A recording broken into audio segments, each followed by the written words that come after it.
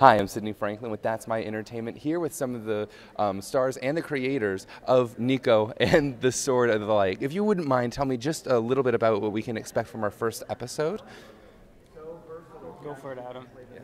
Oh well, uh, it's about uh, ultimate adventure for kids. You know, you got Niko, a ten-year-old boy that is supposed to grow up to become like the the the protector of the world, but is thrown into the role early. He's only ten, and then he's got Lyra and a couple other really fun characters to help him along the way.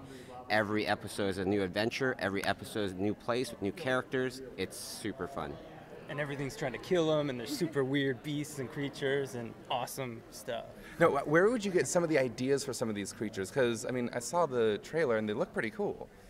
Uh, just like imagination, just trying to come up with the weirdest Yeah, this possible. guy- from this guy's mind. from my madness. It's from you know, comics, uh, movies we used to watch as kids. It's kind of like uh, you know everything we loved. We wanted to put it all into into Niko. That was like a homage to all the classic you know movies when we when we grew up. Well, that's great, and I'm ex- very excited to see this show. It looks like a lot of fun. Thank you for chatting with me. Now, that's my entertainment. What's yours?